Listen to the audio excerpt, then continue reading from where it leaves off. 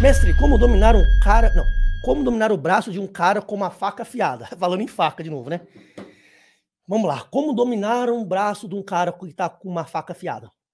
Afiada, amolada, esquece isso aí, tá? Faca é faca. Não, não paga pra ver, não. Eu recomendo você não tentar imobilizar o braço de ninguém com uma faca.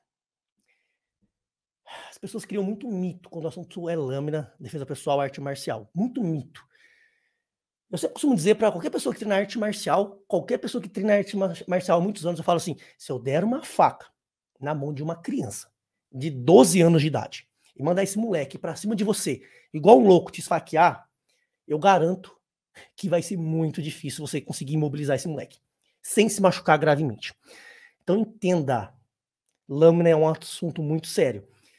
Primeira linha, primeira coisa que você deve pensar quando você uh, confronta um cara com uma lâmina evasão, fugir. A missão, a meta é chegar em casa vivo e o mais inteiro possível. Então, se nem precisar lutar com o cara, se puder fugir, bater em retirada, bate em retirada. Exércitos têm essa estratégia de bater em retirada para poder vencer a guerra.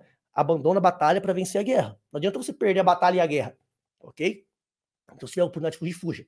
Não tem oportunidade de fugir, tem que se armar com objetos do ambiente para você criar obstáculos e minimizar ataques e potencializar o seu ataque.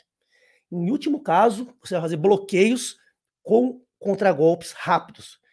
E por último, quando está muito grudado, quando não tem o que fazer, você tenta dominar o braço. Mas lembre, não é fácil dominar o braço. O movimento com lâmina é muito rápido. Você vai estar na adrenalina. Na adrenalina, você vai perder movimento motor fino. Ok? Um dos primeiros ah, efeitos da adrenalina é perder movimento motor fino.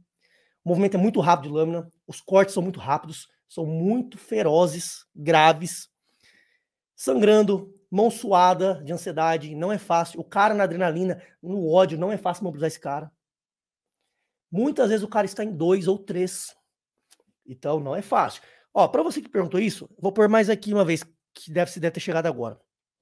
Vou colocar aqui ó, uma super aula, super aula de lâminas, onde eu falo sobre sobrevivência e combate de lâminas de graça para você assistir. É uma hora de aula com muito conteúdo, análise de casos reais e por 48 horas vai estar disponível de graça para você. Você que clicar aqui nesse link, ok?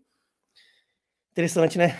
Lâmina, pessoal, muita gente tem mito e é um problema esses mitos aí de lâminas.